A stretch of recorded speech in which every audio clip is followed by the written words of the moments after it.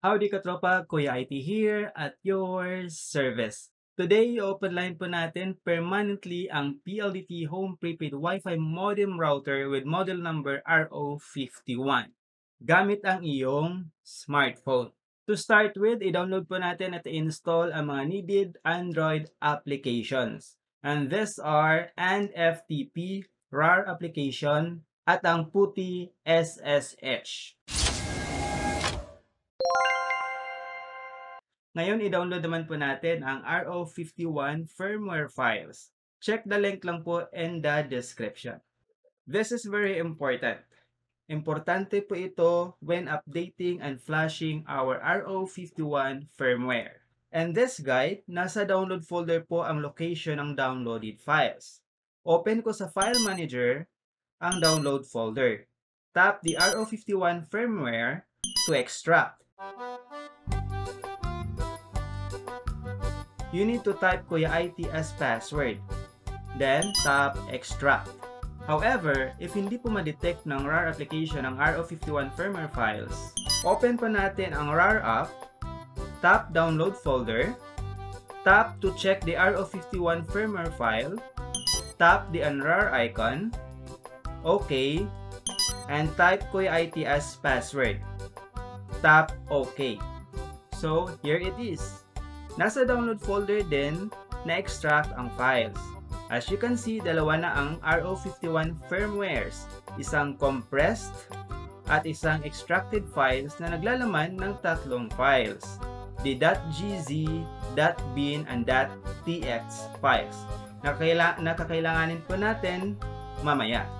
Let's move on by connecting to our RO51 Wi-Fi using our using the default Wi-Fi password na PLDT Home. Once connected na, open tayo ng web browser. Sa web address bar, type po natin ang default IP address and that is 192.168.1.1. Tap Go. If you encounter this issue mga katropa, naglo-loading lang or nagko-connect siya sa main router po natin, dito sa akin sa PLDT Fiber po siya nag-connect, make sure po na connected po kayo sa PLDT Home Prepaid Wi-Fi. At i-clear po natin ang cache at history ng browser from the beginning. So, mas mabuti ka tropa kung Chrome browser po ang gamit ninyo para makasunod po kayo ng maayos. Then, retype the 192.168.1.1, tap Go. So, yun, pumasok na. Input lang ang PLDT Home as password and sign in. You will be prompted to change the admin and Wi-Fi password. So, the passwords must include alphanumeric uppercase, lowercase, special characters, and at least 8 characters. In this example, I will be using 123 Batman capital B for the admin and exclamation mark at sign hashtag 123 Batman for the Wi-Fi password. Then, click Save. We will be disconnected dahil nagbago na po yung ating Wi-Fi password. Reconnect lang po tayo using the new Wi-Fi password at sa ating new admin password and then sign in. Navigate tayo sa router, sa configuration management. Then first, i-click po natin itong configuration file para may backup po tayo sa default firmware po natin.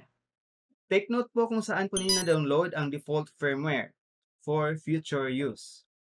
Ngayon, click natin ang browse at navigate natin kung saan na-save ang .gz file. So in this case, itong pxa1826 cf.gz.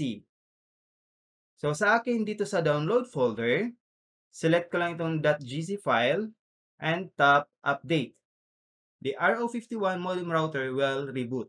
After the reboot, reconnect lang po tayo sa Wi-Fi ng RO51. PLDT, po, PLDT home po ulit ang password. Bumalik po yan sa default after tapping update.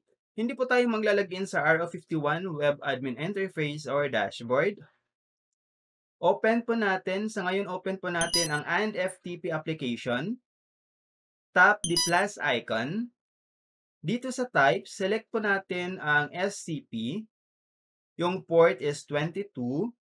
Yung username at password are both root.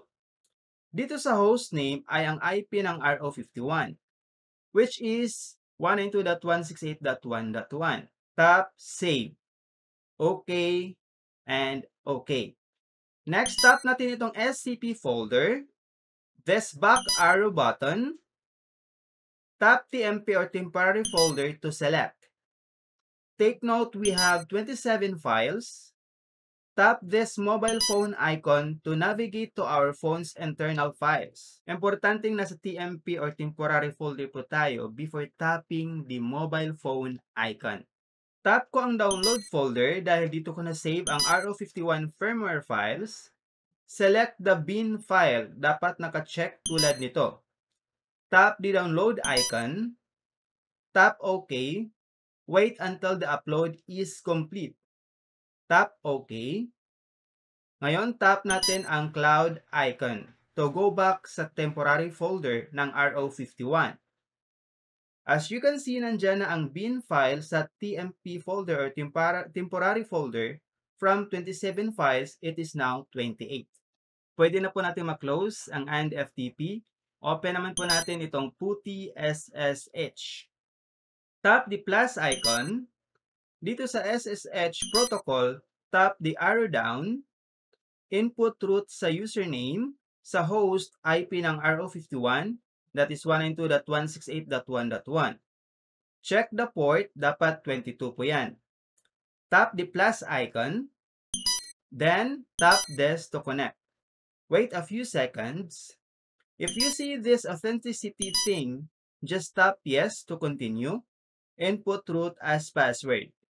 Now, navigate tayo sa download sa RO51 firmwares dahil dito ko na-save ang text file. Open the text file. You may open it using word processor like WPS, Word, or Chrome browser which na Chrome po yung gamit ko dito. And long press this command to copy. Actually, pwede nyo pong i-type ang command. Pero mas madali kung kopyahin na lang po natin. Balik tayo sa PuTTY SSH. Long press to paste the command and enter. Wait until matapos ang proseso or ang pag-flash. The RO51 will reboot at ma-disconnect na ang PuTTY. Tap yes to end the session. Reconnect po tayo sa Wi-Fi ng RO51 using PLDT Home as password. At login po tayo sa RO51 web admin interface using the same password PLDT Home dahil bumalik po lahat sa default after the flashing. Change po ulit natin ang admin at Wi-Fi password. So dito, same password lang ang gagamitin ko tulad po kanina yung 123 Batman at yung um, exclamation mark at sa hashtag 123 Batman. Madi-disconnect po tayo ulit dahil nagbago naman po yung ating Wi-Fi password. So, reconnect lang using the new password. If you find this video helpful mga katropa, don't forget to beep the like button. And there you go mga katropa, the Globe SIM is now working po sa ating PLDT Home Prepaid Wi-Fi router model with model number RO51. From invalid SIM and no connection, it is now enabled at may internet connection na. Important note lang po katropa, gagana po to sa Gumo SIM, Globe, TM, and of course siguro sa Sun, sa Smart at sa Talk and Text. Actually sa Smart at Talk and Text gagana naman talaga sa prepaid Wi-Fi kahit hindi natin ma-open line. Pero sa dito, hindi ko po alam mga katropa, uh, sa malamang 50-50 or hindi talaga gagana sa dito. At kung mag-restart po ito mga katropa, yung open line status ay the same pa rin, hindi po mawawala. At kahit i-reset po ninyo gamit dito sa reset button sa likod, yung open line status niya po ay hindi pa rin mawawala. So, same pa rin, open line pa rin.